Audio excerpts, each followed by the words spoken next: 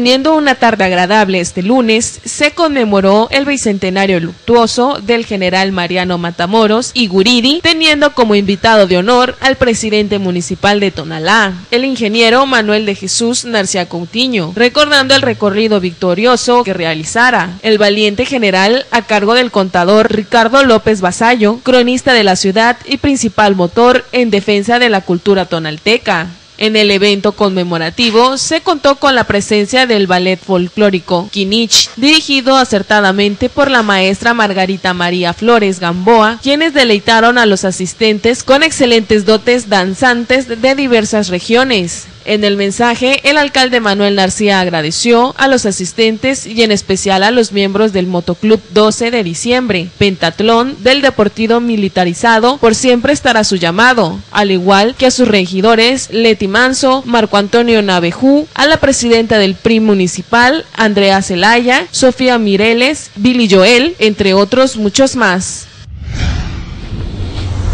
Noticias tvschiapas.com